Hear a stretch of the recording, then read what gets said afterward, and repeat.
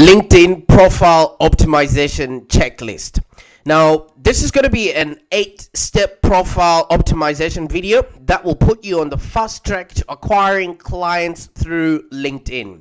Now, the first thing that I would want you to understand is your LinkedIn profile is not a resume, it is a sales letter.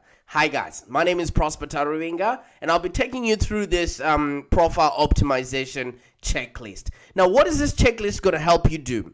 It's going to help you convert more leads and customers, and this checklist will help you craft your profile into a very effective sales letter through expert positioning and basic sales techniques that we will go through. Now, your LinkedIn profile is a means to actually communicate a very specific message to a specific audience that you serve and solve problems for.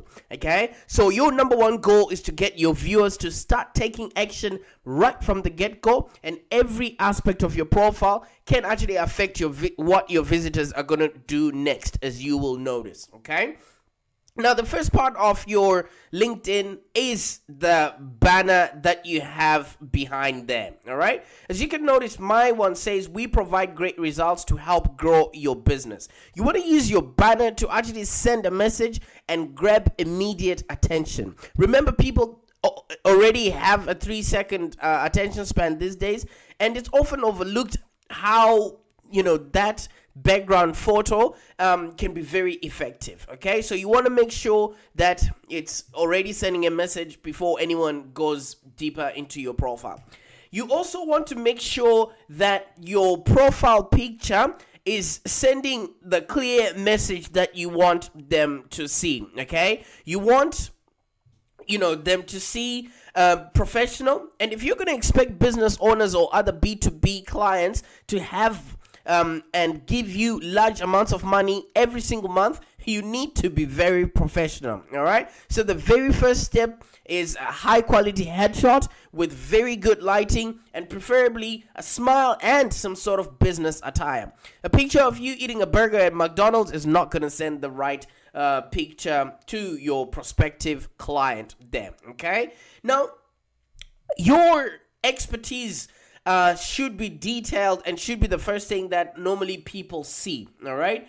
Um, as you can notice in here, I've already highlighted what my expertise is right from the get go. Okay, your name is going to be the biggest and boldest text on the page, so you want to take advantage of it. So when you're adding your expertise to your name field, um, you will immediately communicate what you actually do and what you're good at to your audience the very second that they view your profile. Also, this new addition to your name will now show up in all search results and snippets, making you really, really stand out on your page.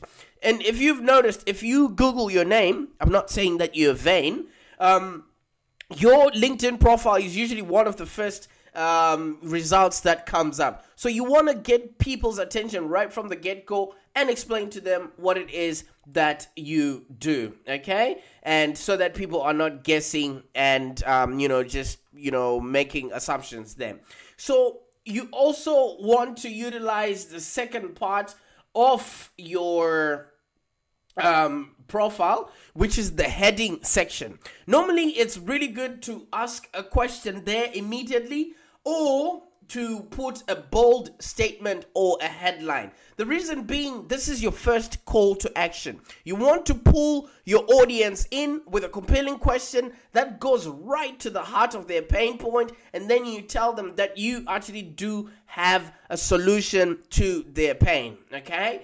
Now, the third thing that people underestimate is the amount of people that are connected with you. Okay, you want to hit the 500 plus connection mark. Once you go over 500, LinkedIn stops counting. Okay, so it um you know, people will place more trust in you if they find out that others have already connected with you by extension and have also put trust in you. This is um, expert positioning, and social proof all rolled into one. So you want to make sure that you, um, you know, look at this. Uh, there's people that want to join my network. Answer those, um, you know, uh, calls, and also just look for anyone else in your address book and go up until you go past 500. LinkedIn stops counting after 500. Okay. Now the second part, um, the sixth step. Sorry, uh, going a little fast.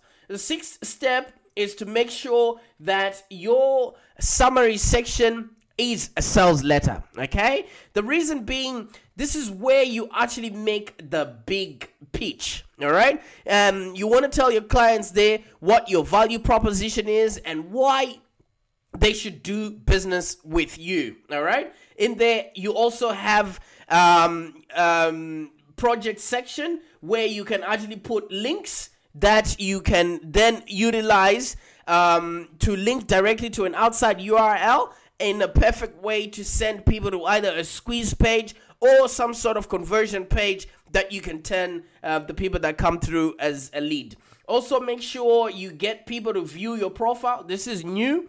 Um, if people have viewed your profile, it shows that you're relevant and people are uh, seeking out your expertise within the market. Okay. You also want to make sure that you highlight your past experiences, but those that are really relevant to what you are doing at the current and present moment. All right. And, um, future clients want to see your track record and that other people trust you and you know getting past um, clients and co-workers to actually uh, place recommendations or endorsements on whatever it is that you have done will also go a long way in beefing up your profile okay? So pretty much those are the eight steps that you really want to do. You see it's just the first part of your profile that we just looked at and this will definitely um, you know help you optimize your linkedin and it will put you on the fast track to acquiring clients through this social platform. Thank you very much